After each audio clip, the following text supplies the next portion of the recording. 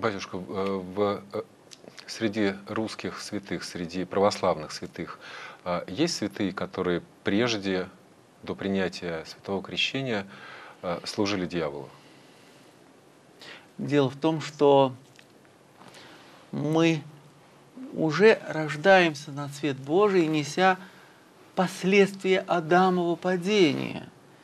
И хотя младенчик чистый и невинен, но он уже нуждается в Искупителе Господе Иисусе Христе, который очищает нашу падшую природу по вере родителей и крестных. Если вы имеете в виду э, какое-то сознательное обращение к падшей силе, так сегодня, знаете, среди молодежи сколько таких юнцов, начитавшихся журнала «Молоток»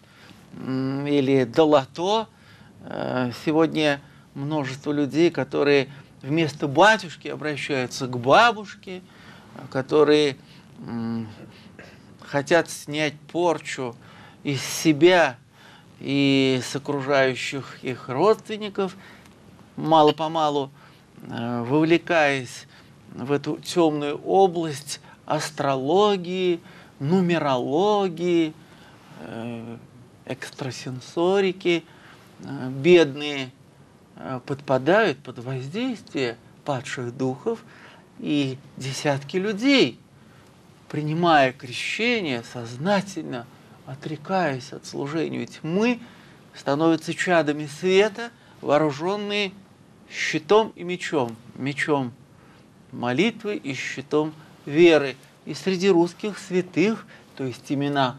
их внесены в святцы, мы найдем немало бывших волхвов, но это на заре распространения христианской веры, э, кто,